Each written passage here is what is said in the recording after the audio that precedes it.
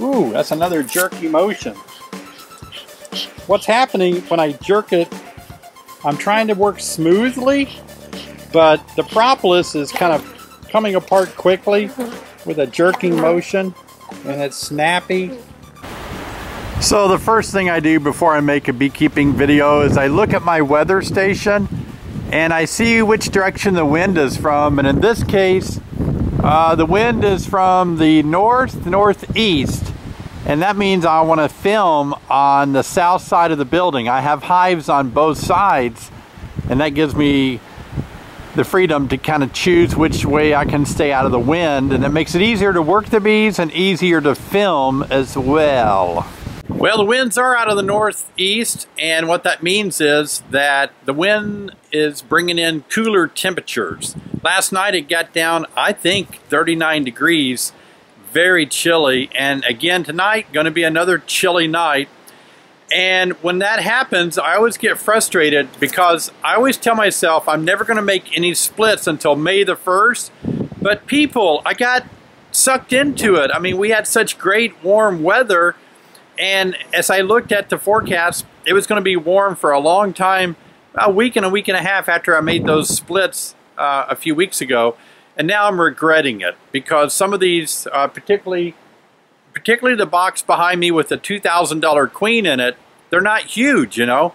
And those colder nights, uh, not, not, it's not so much that they're colder nights, but they can't stay as warm. They have to eat a lot more food and they're not they don't have the best of foragers yet to go out and get a bunch of food so um, I'm definitely going to feed that colony. Um, we, we just have too many days that look rainy uh, highs in the 50s lows in the 40s or even the 30s so I'm going to put one of my feeding systems on the top of it later. But that's not what this video is about. I'll make another video about that. I'm just telling you you never know about spring weather. Oh, oh in Illinois. Some of you are further down south and you're having great weather. You're not worrying about the cold snaps like we are uh, here in the north.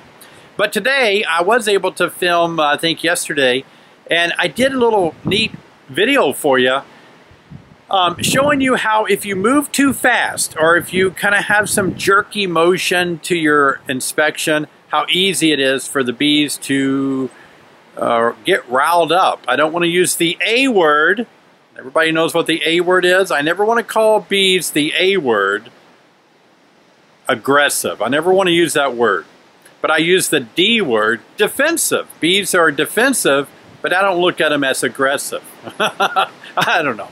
And uh, so I'm going to show you a video, some clips of me working a hive, and I want to I want to particularly focus on when I use smoke, how much smoke I use, so that when you're working your bees and all at once they seem to get a little bit agitated at you, a little defensive, then you can uh, kind of look what I'm doing and maybe learn some skills on handling bees barehanded, you know, t-shirt and, and have a good time doing it. Let's take a look. So we're going to take this super off and inspect some of those lower frames. I don't believe I looked at those lower frames the other day when I was in this hive. So let's take a look. So we'll add a little smoke to the top, not much, just a little bit. I'm going to separate the, the super here from the bottom deep.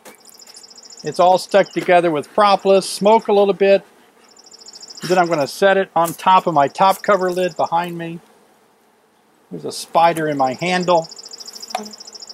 That's always a surprise to smash a spider in your handle of your of your box.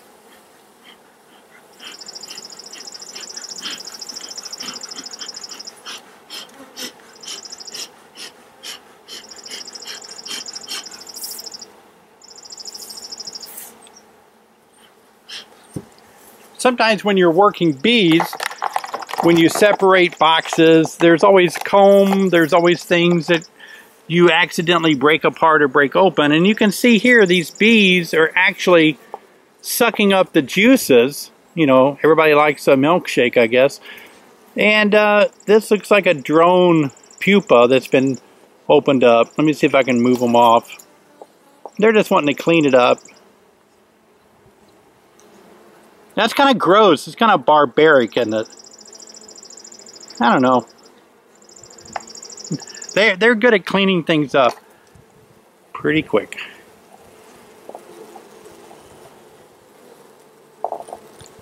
Look at that bee with that bright orange pollen basket. Isn't that cool?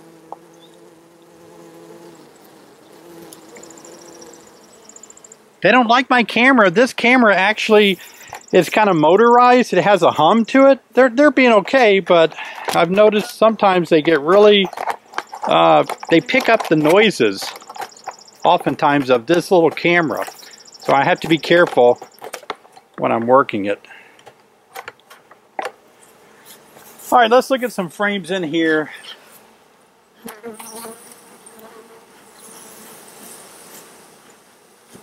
You don't need to be playing with that. Get rid of that. Throw it out of the hive.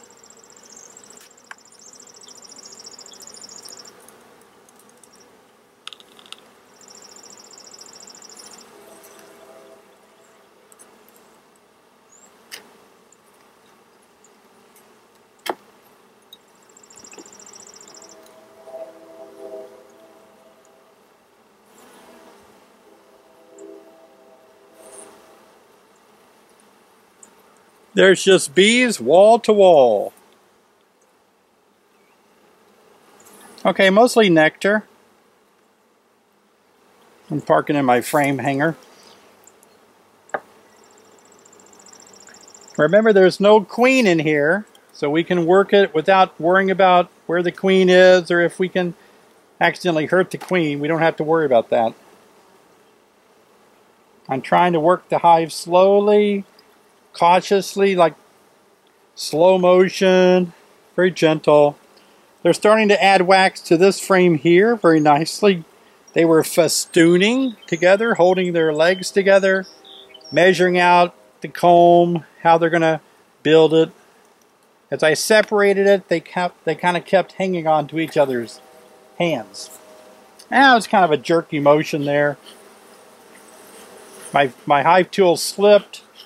And so when you don't work in slow motion, you can see bees get flighty. So I took that opportunity to smoke them. Well, basically this is a frame of pollen of different uh-huh. colors, yellow, uh-huh. orange. I'm just seeing if there's a queen cell down here. That's all I'm kind of interested in. So I'm making my way over to the brood nest area. I'm going to look at two or three more frames and make that decision on where to put the frame that has the queen cells on it. Ooh, that's another jerky motion. What's happening when I jerk it, I'm trying to work smoothly, but the propolis is kind of coming apart quickly with a jerking motion, and it's snappy, and the bees are, they're not real defensive, but they're not crazy about it either. I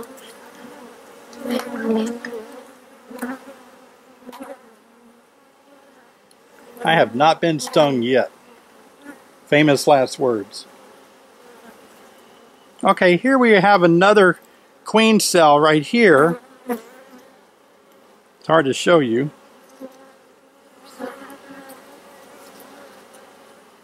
Two of them, and then there's one here. This frame has several on it. So this hive has a lot of replacement cells and cups already in the work. So this hive will have a queen really soon. So if you wanted to take this frame out and put it somewhere else to raise a queen, you could because we have plenty of frames with these on it. Let's look at one more for prosperity's sake. A Little smoke. Let's, let's keep working in slow motion. It's getting a little bit later in the day, and a lot of bees are kind of coming home. So we're going to have to work in slow motion and try not to be loud. Try to gently move these frames around without that propolis snapping. Move your hand slowly across. Gentle. It is stuck. Applying enough pressure just to let it break loose.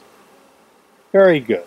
Now move slowly as you grab the edges of the frame, slow and steady wins the race. And the bees prefer you to work that kind of speed. They've just drawn this comb out this year. Brand new comb being drawn out at the top of the frames. I'm, and the same here, brand new comb. Um, I gotta show you what's on this next frame. I said I was gonna do one more. Okay, I'll do one more. I'm gonna do this one. It has queen cells on it. Slowly across, right? You can see if I move fast, bees quickly come up to my hand as I move it quickly. So never move your hands fast. Alright, what's on this frame?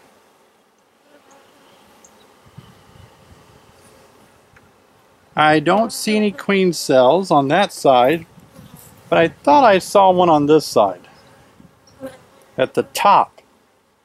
And I do. See right here? It's not capped over. They're going in and out of it. So this cell, I got to keep it vertical so that um, it doesn't hurt the developing larva. But you can see, now I'll try to move it into the camera.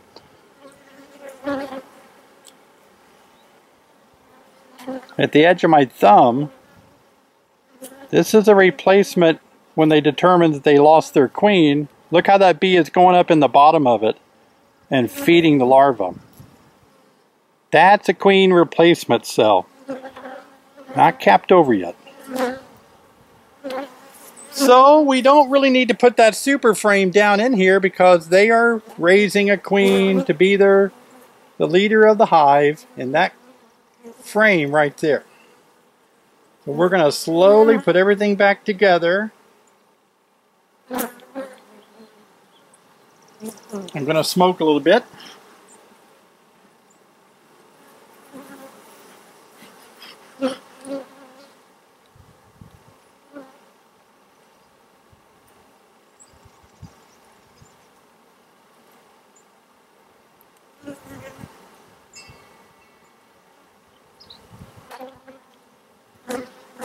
All right, good. Need to put a frame back in that's over here. Slow motion. Don't get too uh, caught up in your work and start moving fast. I think some of you make that mistake and you start working your hive really quickly, fast motions and all at once. You got bees that are pretty rowdy. I don't like to do that because I like to work in a t-shirt with no gloves and just a hat and a veil. If I want to work really fast, I have to suit up with all the hot gear on. Okay, there we go. I like what I'm seeing. Very good.